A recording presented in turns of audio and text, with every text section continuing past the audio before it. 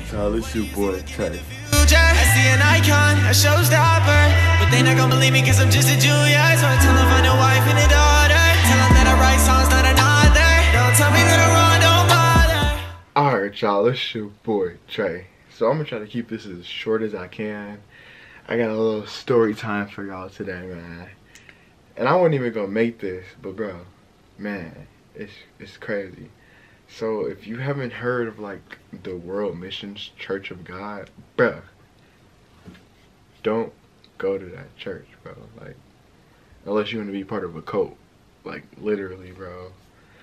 So y'all, I just I just have to tell y'all the story. If you know about it already, you know. If you don't, I'm finna inform you. So basically, I met this. I was at Walmart one day at night, um, getting a few things, a few groceries, some food, man and I, this guy walked up to me randomly. He um um Asian dude randomly walked up to me. He said he said, "Do you know about the Mother of God?" I'm like, me just I'm just like no, because I was having a really good day. Like I was happy. I was like engaged and everything like that. So I'm like, no, I haven't. He was like, would you would you want to learn about it? And then he showed me a verse in Genesis one where it says, "It took us seven days to make earth." Like he tried to insinuate there was more than one. So I'm like, mm, you do have a point. Because he showed me a verse. I'm like, mm, you do have a point. So I was, um, he was like, would you be interested in a Bible study? And I was like, yeah. So look, this is the first thing. He made it seem like me and him were gonna do a Bible study together, but he gave a he gave a random guy my number, who called me like a few days later, and me and him ended up Bible studying. But yeah, he was like, yes, um, whenever you're available to study, let me know. And then he texted me and I told him, yeah.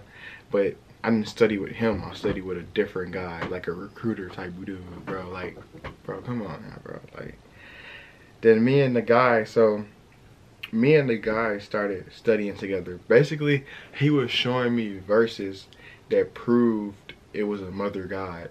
So they call the mother of God um, Jerusalem. Um, Jerusalem in heaven. That's what they call the mother of God, bro. He was showing me like verses from Revelation, Genesis, um, um, I think Matthew, Matthew maybe, but bro, he he was just showing me verses that like brainwashed me basically. This is like them brainwashing me, like literally them brainwashing me, cause he's showing me verses in the Bible, but he's giving it a different meaning. Y'all get what I'm saying?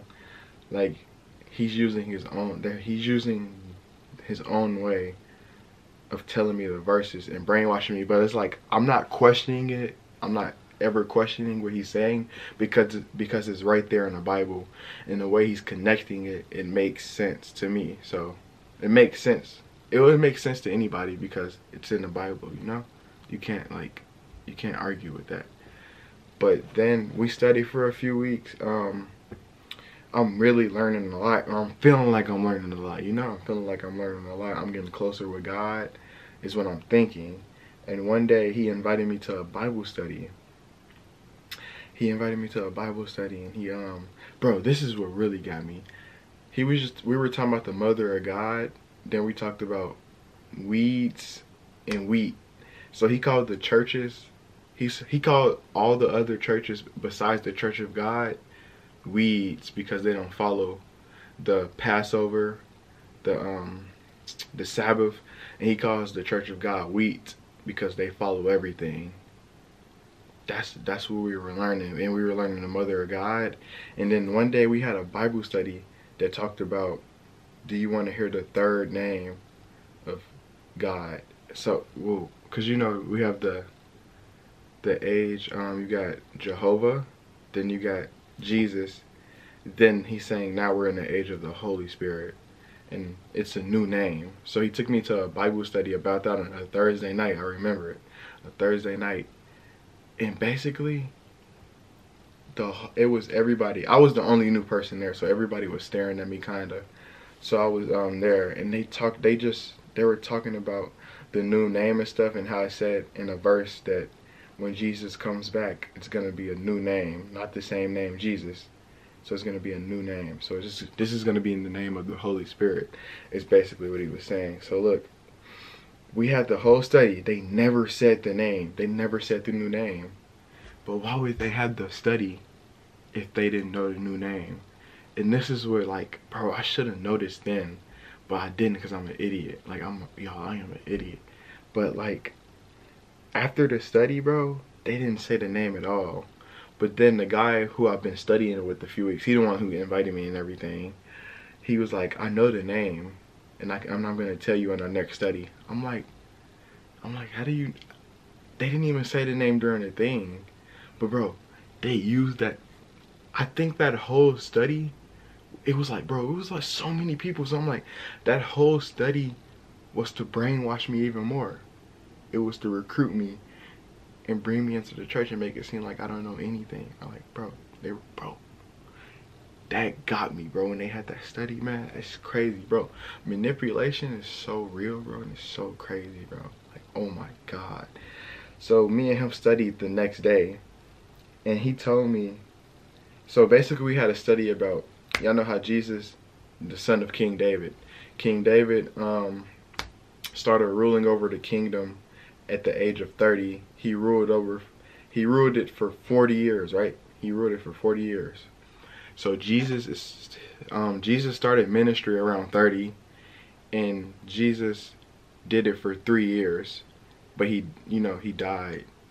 So it was 37 years left. And for prophet the prophecies to be fulfilled jesus would have to come back and do 37 more years of ministry. And he said this guy, the bro, this guy, Ahn Sahng-hong.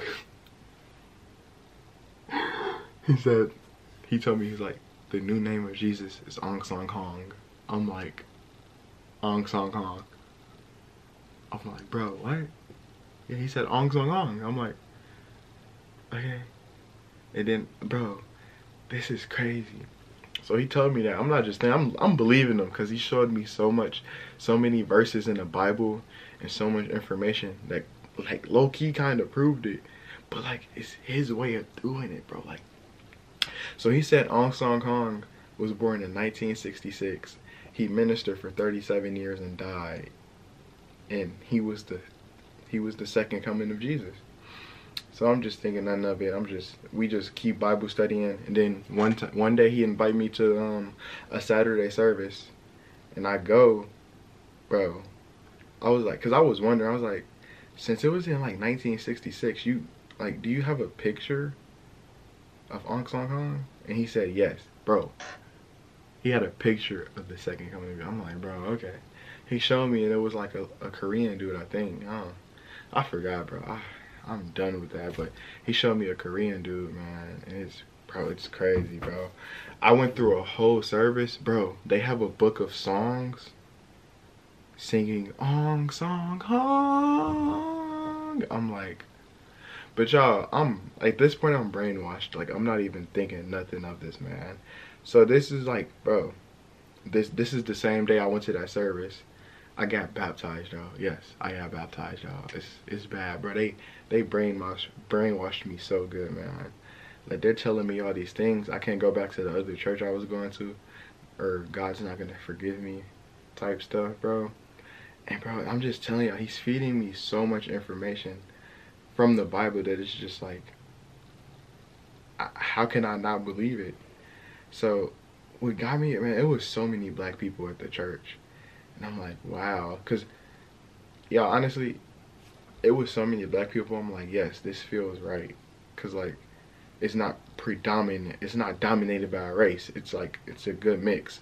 But it was more black people. But it was, it was all types of races. And the guy who I've been studying with, he finally, he finally introduced me to his wife. Bro, she walked in, bro. She was Korean, bro. That's when I knew, bro. His wife was Korean. I'm like, and he white. He white, by the way. His wife is Korean. I'm like, okay. Like, okay. I'm like, that was, that kind of threw me off. And then we did one more study before, like, this was my last study with them ever, bro. We did one more study. And he was like, the guy, it was this other guy with us. He was like, Google who, what church keeps the, pa keeps the Passover. And the guy who I've been studying, with, he was like, he was like, no, Google lies all the time. I was like, that's kind of iffy to me. I was like, Okay, I'm not gonna Google it then. But bro, that's gonna be important at the end of the story time. It's gonna be important. So yeah, man, I decided that day, that same day I went to that church, that service, like it just felt so right that like I got baptized, bro, and like yeah, I got baptized, bro, and man, I put I put on the robe and everything. They were singing while I was getting baptized, and he was just pouring water on me and saying the stuff, man. And it it felt it all felt so right, y'all. That's why I was at the like the ultimate level of brainwashed, man. And it was crazy, man. That's just that scares me and makes me so sad because of all those people at that church that are brainwashed and just they can't do anything about it, man. It's so scary, man. How they brainwashed me that quick, man. And yeah, and I got baptized, and it just felt so right, and I felt really, really good, man. But like he showed me all the verses from the Bible. I believed Ankh Kong was Jesus for a little bit.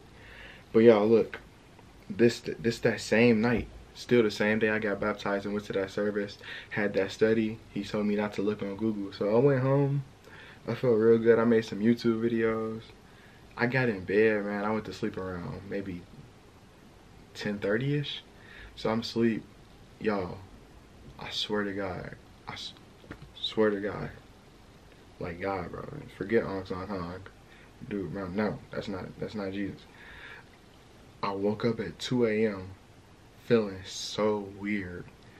Like I couldn't sleep. I couldn't go back to sleep. I'm just I'm up at 2 a.m. feeling really weird, like somebody's talking to me. Like I'm, feeling something, like I'm just feeling a spirit or something, bro.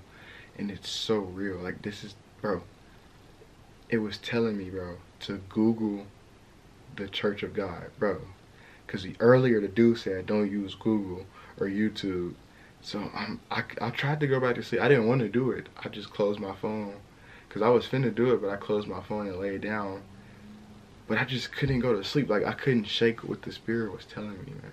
Like I just I just couldn't shake it. So I just I got on YouTube and I searched it up and bro, it is so many videos about this church being a cult and I'm just like I'm just sitting there at 2 a.m. I'm like, what the heck? Like, I'm just on my phone. I'm like, I'm just like, I'm just like, what? This is so crazy. Like, that's why he wasn't, that's why he told me not to use Google or YouTube because I was to find that out. And that's just so crazy, man. And after that, man, I, I told them, I, I didn't tell them anything. I just blocked all their numbers. Honestly, I just blocked all their numbers and I moved to a different state. I just blocked all their numbers and I moved to a different state, man and it's just it's just it's, it's crazy man just i blocked all their numbers because I, bro, I was scared at that point but y'all that's the realest encounter i've ever like that was the strongest encounter i've ever had with god and it's and it's insane that god like i wasn't even a part of that church for a full day after getting baptized that god came to me and showed me like that no that's not it I'm your God. That's what he told me that night.